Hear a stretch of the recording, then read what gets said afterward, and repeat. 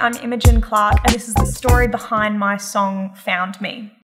Found Me was written with Clare Bowen and Brandon Robert Young, who have become great friends and mentors to me, very um, musically inspiring people. They're a married couple and they write a lot of beautiful songs together.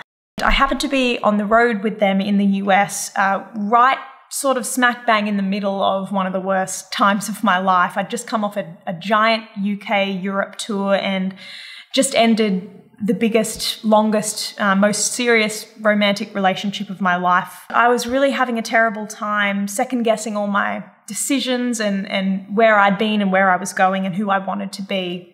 I started pouring my heart out to Clare and Brandon after all these shows we were playing together and, and really seeking their advice. They really took me under their wing and were so kind to me in that time. So when we got off the tour and we were all in, in Nashville together, uh, we decided to sit down and write a song. And naturally, everything I'd been talking to them about came out in this song.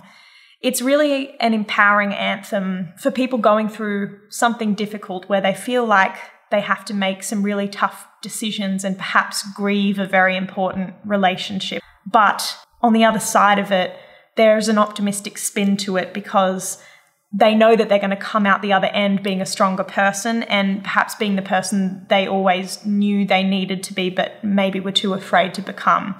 When we went into the studio to record Found Me, it just gradually got bigger and bigger and just let it be as poppy as it wanted to be. Let the drums be as big as they wanted to be. Let there be as much synth as they wanted to be. It was like we were not worried about what lane people would place the song in. We just let it speak for itself. And I think the way the song turned out production wise is really a reflection of how empowered and confident I want people to feel in themselves when they listen to this song.